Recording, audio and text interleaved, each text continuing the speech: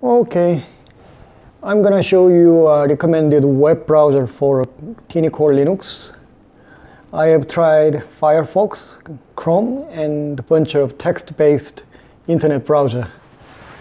And I would recommend Chrome.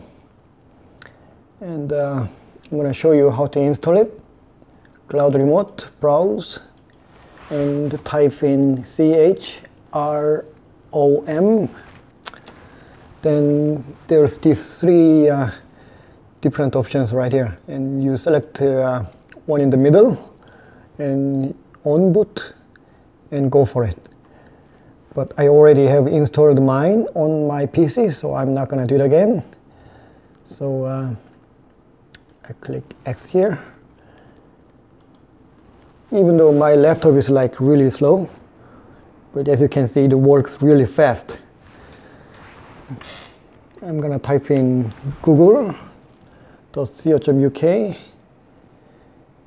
As you can see, it works fast enough.